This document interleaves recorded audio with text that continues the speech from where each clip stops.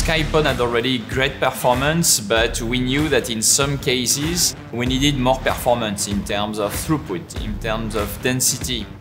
Expectations of I want my order delivered faster keep increasing over time. To take that to the next level, we gotta evolve together with your business. Customers are constantly looking for ways to optimize space, time, and efficiency. We have to continue to evolve and innovate with them. This is the evolution of Skypod.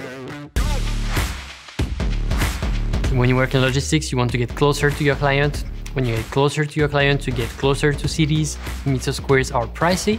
And as a result, you have to fit into smaller space because those tend to be more urban areas.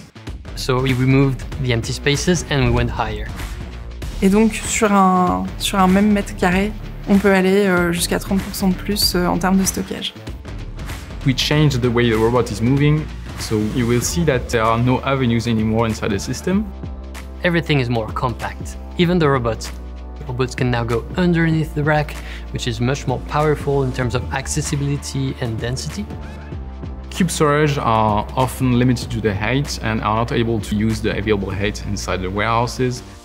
We can build our racks up to 12, 14 meters. Meaning that this generation will have a much higher density than any cube storage technology in the world. Or, on a absolument conscience que chaque seconde compte. En fait, c'est extrêmement frustrant pour l'opérateur qui va attendre que le robot arrive.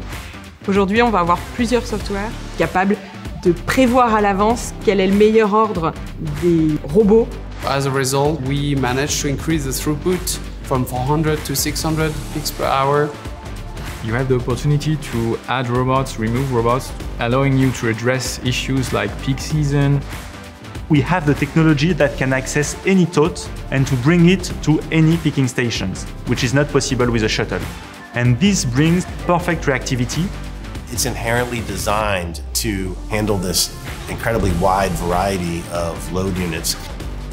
The criteria for success 20 years ago was density and throughput. That's now a baseline expectation.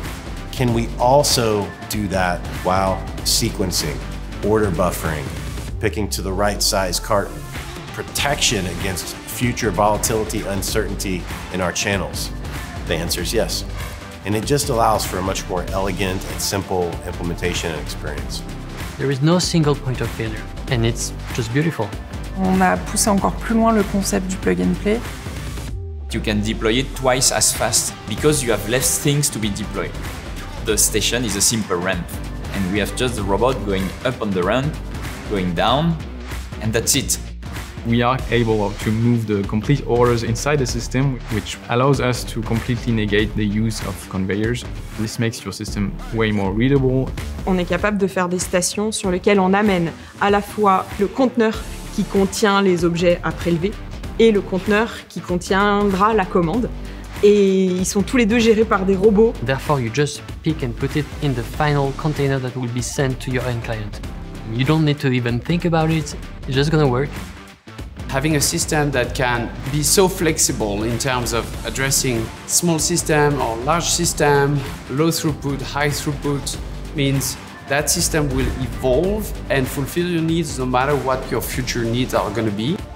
We really have a game changer solution and we want everyday operation to be robust and to be sustainable. We're looking to redefine the market, not trying to solve for things of the past, but preparing for the future. This is one system that can do it all.